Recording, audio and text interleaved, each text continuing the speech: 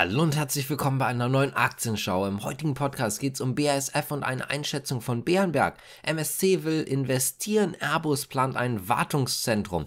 Warta sieht erste Anzeichen einer Entspannung. Es gibt im Übrigen auch noch zusammengefasste News zu Aktien rund um Israel bzw. auch um den Ölpreis. Und zu guter Letzt geht es um Volkswagen und Umicore. Ich würde sagen, wir fangen jetzt direkt an und zwar mit BASF. Denn die Privatbank Bärenberg hat das Kursziel von BASF gesenkt von 50 auf 45 50 Euro. Die Einstufung bleibt fürs Erste bei Hold. Es ist so, dass der Chemiekonzern wohl innerhalb der nächsten zwei Wochen die Prognosen für das operative Ergebnis in diesem Jahr senken wird, so zumindest der Analyst. Außerdem ist die Dividendenrendite zwar sehr hoch, allerdings ist es natürlich so, dass nicht gedeckte Dividenden, also vom Gewinn her nicht gedeckte Dividenden, kein Grund sein, diese Werte zu halten. Und das könnte auch wieder dazu führen, dass die Aktie weiter abschmiert. Kommen wir mal zur nächsten Aktie und zwar zwar zu Hala bzw. zu MSC, denn MSC möchte gerne am Hafen Wachstumsgeschichte schreiben. Man plant das Ganze zumindest laut MSC. Man möchte gerne zusätzliche Umschlagmengen nach Hamburg bringen. Außerdem möchte man die Erfahrung, Investitionen und Innovationskraft einbringen, so zumindest MSC. Man ist sich auch dem bewusst im Übrigen, dass dort Diskussionen geführt werden, dass es kein einfacher Einstieg ist. Allerdings sieht man sich selbst als der perfekte Kandidat, der halt eben eben auch noch sehr, sehr viel ändern kann und auch mit den Investitionen sehr viel ändern wird. Es gibt auch noch jemand anderen, der investiert und zwar der Flugzeughersteller Airbus beziehungsweise vor allen Dingen Airbus Defense and Space.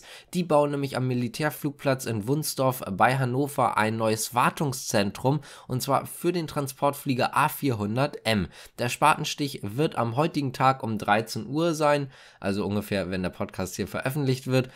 Dabei werden dann auch der Verteidigungsminister Minister unter anderem dabei sein, aber auch Niedersachsens Ministerpräsident. Das Wartungszentrum soll bis 2027 auf einer Fläche von 125.000 Quadratmetern direkt neben dem Fliegerhorst in Wunsdorf entstehen. Dort sollen dann alle A400M der Bundeswehr auch gewartet werden. Im Übrigen sind dort auch alle A400M der Bundeswehr stationiert. 300 neue Stellen sollen dort geschaffen werden. Das Unternehmen hat auch nochmal bestätigt, dass die Kosten im niedrigen dreistelligen Millionenbereich liegen werden. Kommen wir zu Warta, denn es ist so, dass Warta die ersten Anzeichen einer leichten Erholung sieht. Im Juli und August gab es das erste Mal, seit ich hier bin, leicht steigende Kundenforecast, so der Vorstandssprecher Markus Hackstein. Allerdings wisse man noch nicht, ob das Ganze auch anhaltend sei. Traditionell ist es so, dass das Unternehmen im zweiten Halbjahr generell zwei Drittel des Umsatzes erzielt und er hat auch nochmal gesagt, dementsprechend wird das zweite Halbjahr in jedem Fall viel besser laufen als das erste Halbjahr, denn dort sah es auch noch relativ düster aus. Auch hat man aber nochmal erwähnt, dass man eben in einer Restrukturierung ist und diese auch noch mehrere Jahre dauern wird. Das ist halt eben nichts, was so schnell geht. Dementsprechend ist es halt eben so, dass man weiter auch noch ein bisschen knabbern muss, weil dieser Umbau halt natürlich nicht einfach geht, dass man ein paar Punkte hin und her schiebt und dann direkt wieder Wachstum hat, sondern man muss dafür natürlich auch investieren,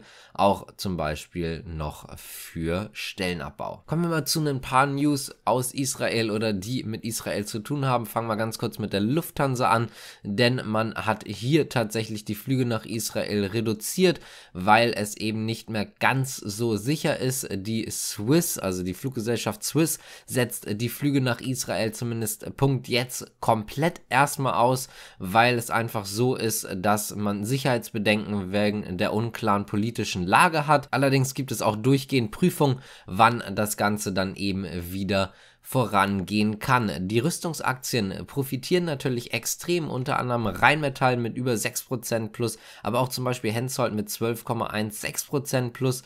Da muss man natürlich einfach sagen, es könnte natürlich sein, dass dann weiter aufgerüstet wird und davon würden diese Unternehmen natürlich extrem profitieren, was allerdings auch gar nicht gut für den Gesamtmarkt ist, jetzt mal unabhängig von der Situation, ist noch der Ölpreis, denn die Ölpreise machen nochmal einen ordentlichen Satz nach nach oben. Das liegt ganz einfach daran, dass man relativ viel Angst davor hat, dass der Iran Öllieferung einstellen könnte und damit würde der Ölpreis dann halt eben nochmal teurer werden. Ein Analyst hat nochmal gesagt, dass es eventuell zu Knappheiten bzw. Unterbrechungen der Lieferung aus dem Iran kommen könnte und das wiederum könnte dazu führen, dass das Brand Future kurzfristig auf über 100 Dollar pro Barrel kommen könnte, so zumindest der Analyst von der Commonwealth Bank of Australia. Aktuell liegt der bei rund 86,65 US-Dollar und damit übrigens auch fast 5% höher als noch am Vortag beziehungsweise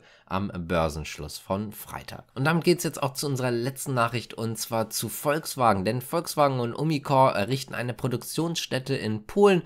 Umicore hat dort bereits eine Produktionsstätte. Die Anlage von Volkswagen soll nun direkt daneben errichtet werden. 2025 soll die Produktion anlaufen. Bis 2030 sollen dann 900 Arbeitsplätze entstehen. Insgesamt werden 1,7 Milliarden Euro investiert. Polen fördert übrigens die Ansiedlung mit gut 350 Millionen Euro. Damit möchte man sicherstellen, dass man eben günstig Batteriebestandteile für Elektrofahrzeuge bauen kann und diese sollen dann halt eben wieder dazu führen, dass man auch relativ günstig Elektrofahrzeuge an den Mann bringen kann.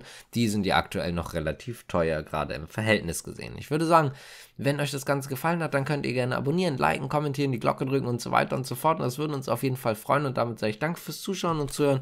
Bis zum nächsten Mal. Ciao.